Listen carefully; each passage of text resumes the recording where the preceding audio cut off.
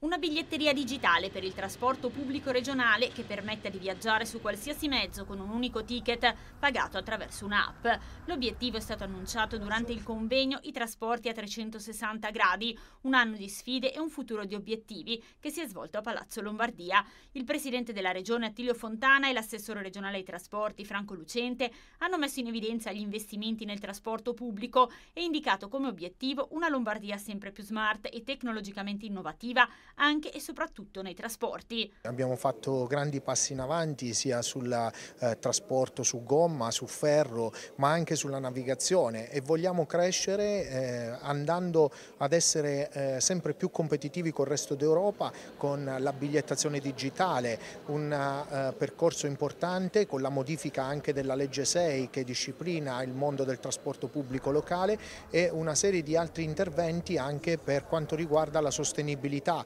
perché non c'è eh, sostenibilità senza innovazione, quindi eh, adegueremo le flotte così come stiamo già facendo eh, per quanto riguarda il ferro, la gomma, ma anche eh, i battelli eh, per quanto riguarda il sistema lacuale. Un impegno importante ma lo porteremo avanti.